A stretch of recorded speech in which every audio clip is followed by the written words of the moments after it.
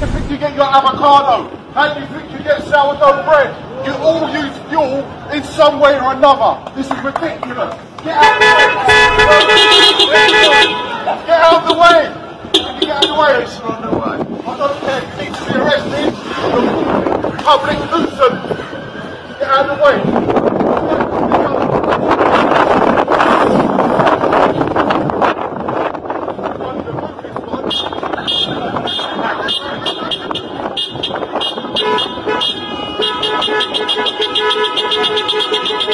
You